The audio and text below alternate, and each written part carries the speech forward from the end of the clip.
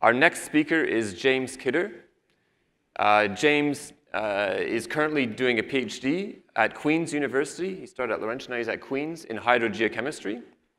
Hydrogeochemistry being one of these things that's having, that's uh, been advancing a lot in the last 10 years.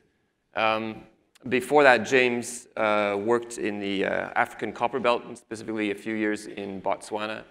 He spent some time as a mining analyst in London before that and started off his career uh, doing gold exploration for Randgold in Africa. So, James, please. Good morning. Um, I'm going to talk to you this morning about exploration under total cover using a case study from northwest Botswana. Um, so what is the problem and why do we care? Well, post-mineral cover is dominant in many of the world's world-class, uh, world exploration districts, including porphyry copper in the Atacama Desert, as you saw in the last talk, non-ferrous mineral deposits across Australia, as well as sed sedimentary hosted copper deposits in the Kalahari and Namib deserts.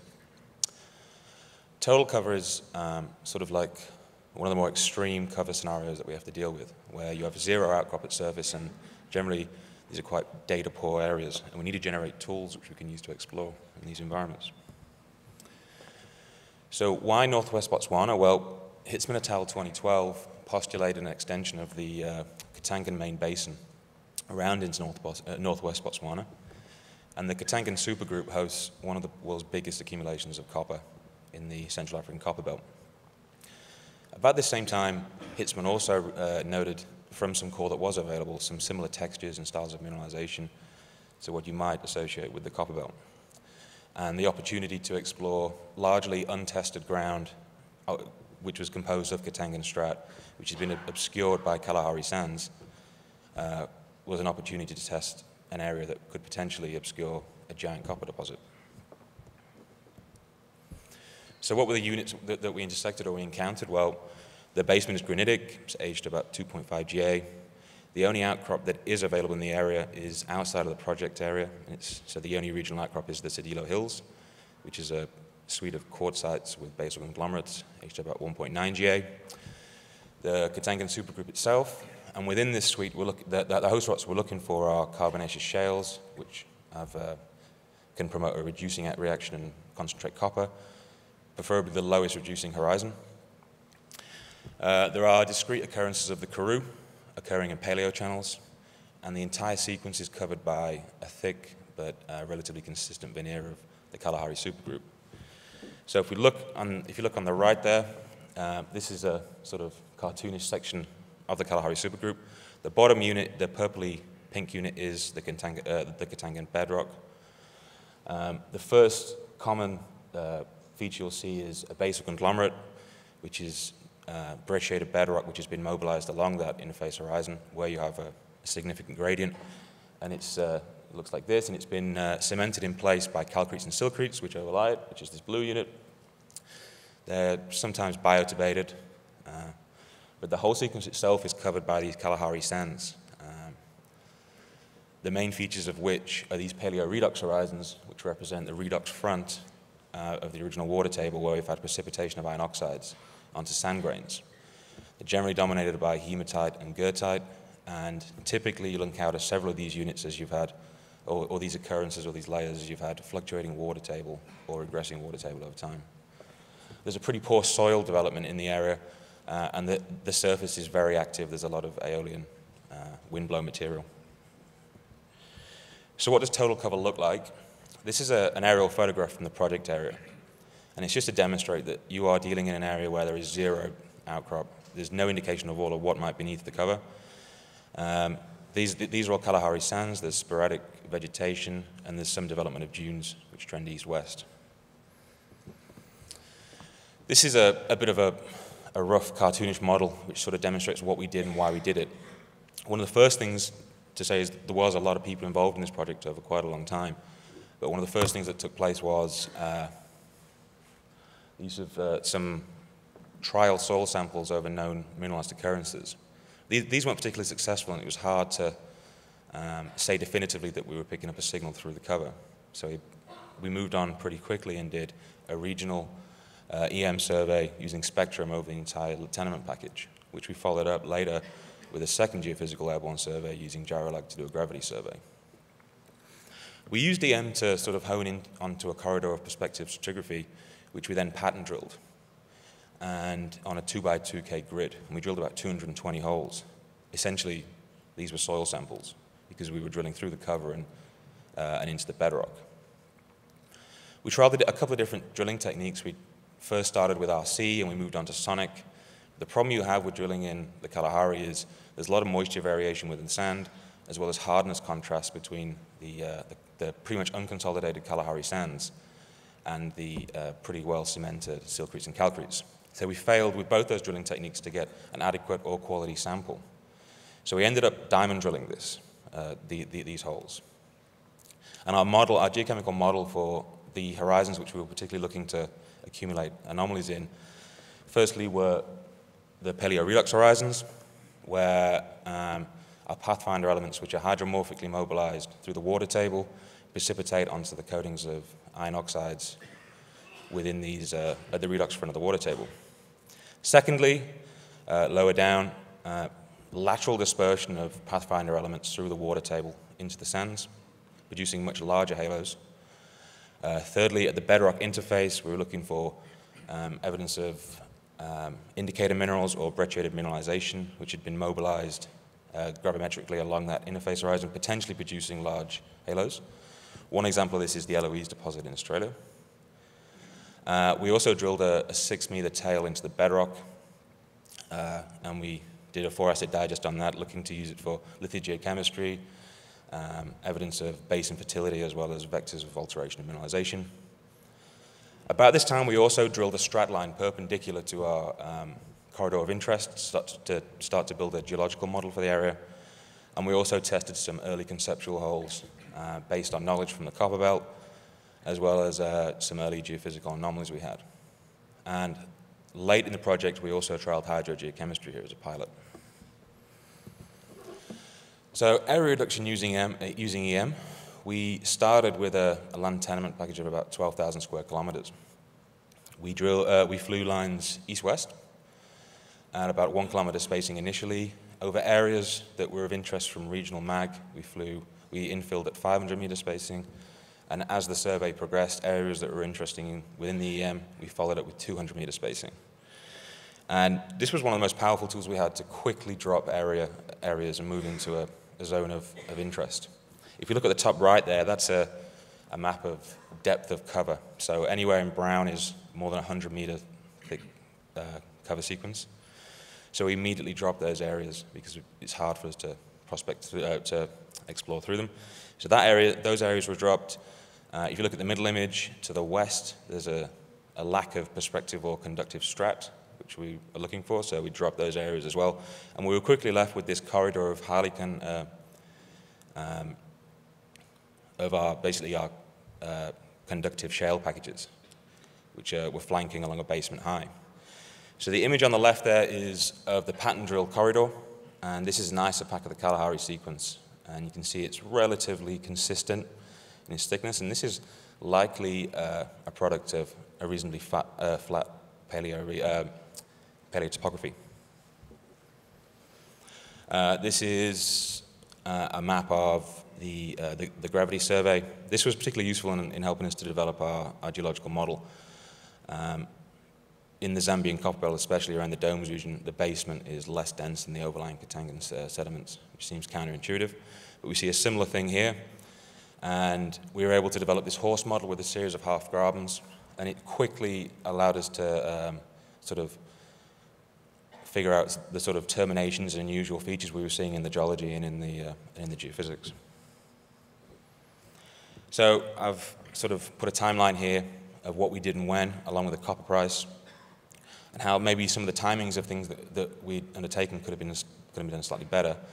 We entered the project in February 2013, and we exited in 2015, December. And it took us just under two years to go from uh, boots on the ground to final target drill testing.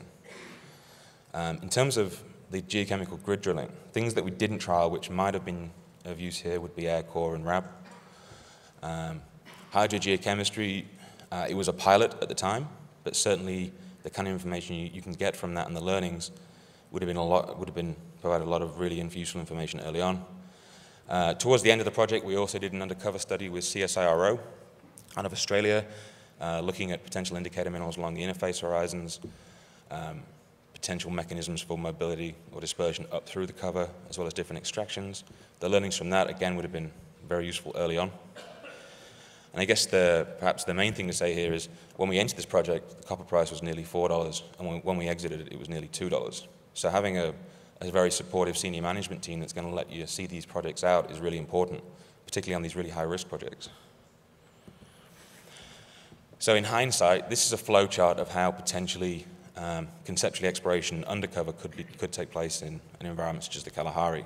And the first thing to note is it's, it's not a three-year project, it's a, it's a 12-month project. And it involves a series of decision points, critical assessment of your project as you go through. Um, at the earliest stage, are you able to vector to host stratigraphy? And is the cover more than 100 meters? Then potentially, if the answer to both of those is yes or, or no, then you, it, the project might be unexplorable and there might be lower hanging fruit that is a better project. Likewise, as you go through, there's, going to be, there's always going to be a reason to keep going in a project like this where there are quite a few unknowns.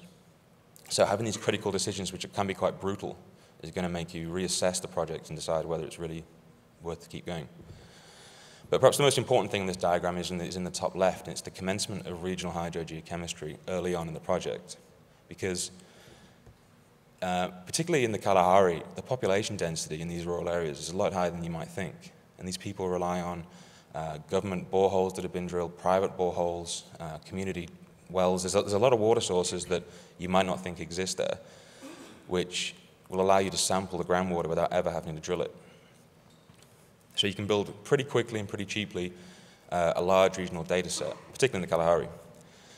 Secondly, the kind of information you're going to get from uh, the field data you, you, collect during the water sampling is going to be important to how you develop your model going forward.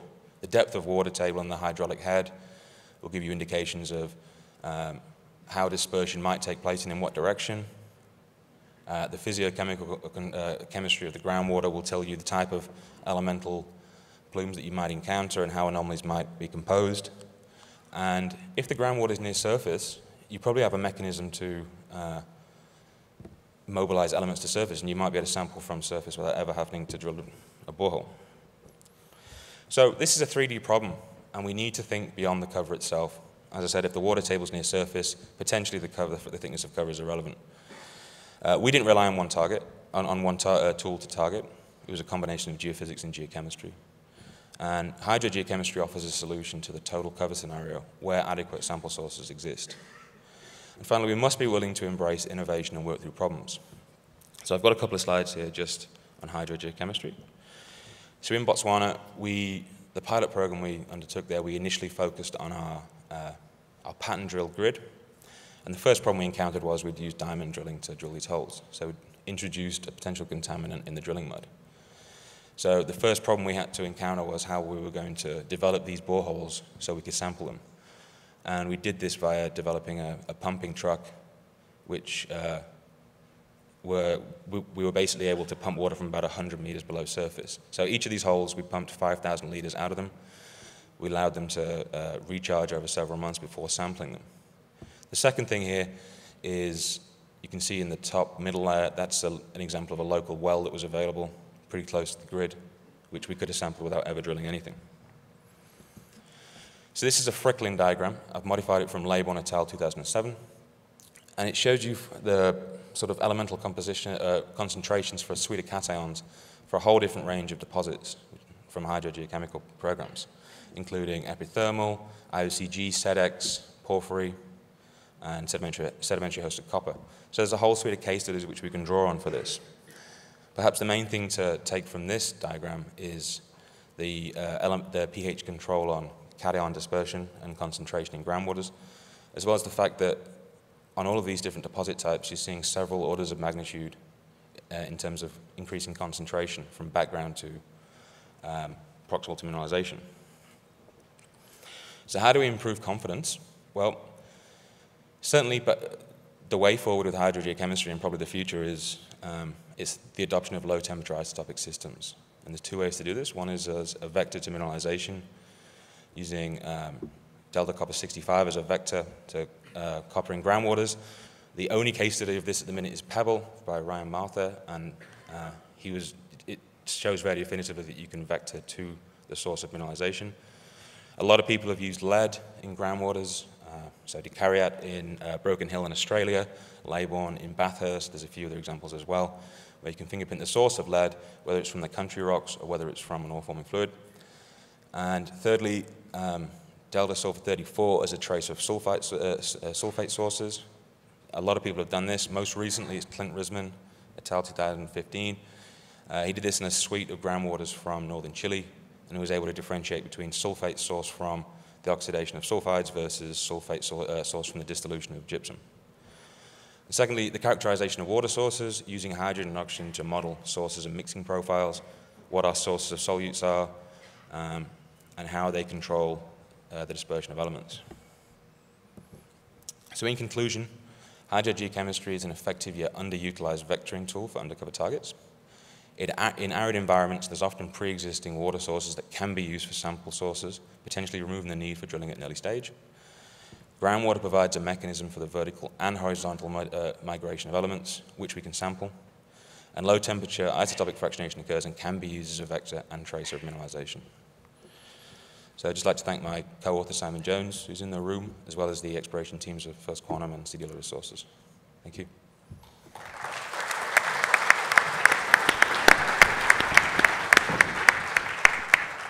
Thanks, James. We do have time for some questions now, if anyone has them. Please step up to the microphone so everyone can hear you.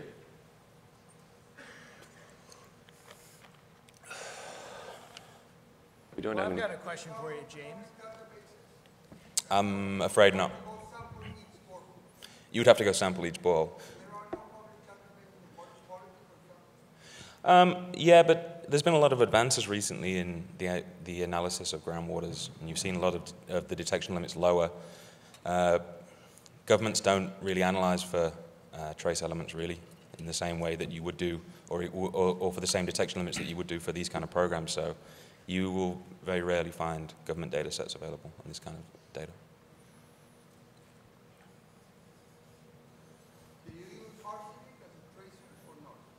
Yeah, definitely. As one of the pathfinders for sure, yeah. As well as molybdenum. All the oxyanions are pretty good for, in particularly basic waters.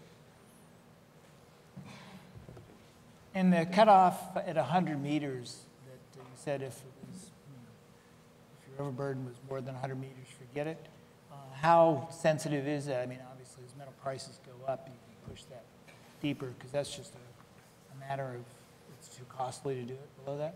Yeah, and you know, within that grid, there were areas uh, where the, there was 120 meters of cover. It wasn't a, a, fixed cutoff. It was just more blocks, large blocks of more than 100 meters. Um, and it, it, it will come down to like personal preference, I'd imagine, like the, the kind of risk you're willing to take on.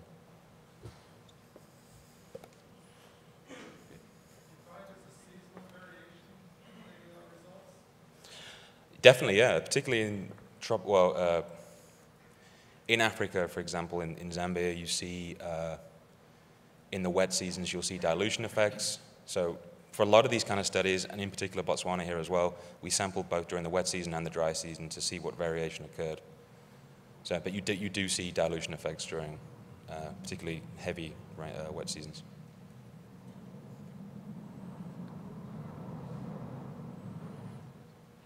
I saw you had some more. Go ahead. Uh, that was a very interesting presentation. Um, I was part of a team working in that area in the early 90s when Anglo American was working there, and we, we, it was too difficult to set up an AA lab quickly in the field, so we actually, because we needed a quick turnaround of copper results in the soils using a reverse circulation rig in the sands, um, we actually set up an old, olden days style Zambian copper belt colorimetric lab to quickly get copper, which we were finding was coming up through quite a lot of sand. I can't remember what the depths were, but 20 to 40 meters. So my question is, did you use any um, surface low-level copper conventional geochemistry to try and work in the shallower uh, sand cover areas? Um, we, we did trial it over, over areas of known uh, mineral occurrences. There was also a, a suite of government data sets which were available. Um, trialing soil geochemistry as, a, as an exploration tool in the area, and the results were largely inconclusive. So it was hard to um, dedicate a lot of resources to a program like that, where, uh, particularly where we knew the depth of cover and we were skeptical about whether we'd be even able to generate surface anomalies. So it was a combination of uh, not really being confident in the results that we'd seen at surface and some of the historical data that was available sort of pushed us away from uh, trialing that further. That's great. Please join me in thanking James once again.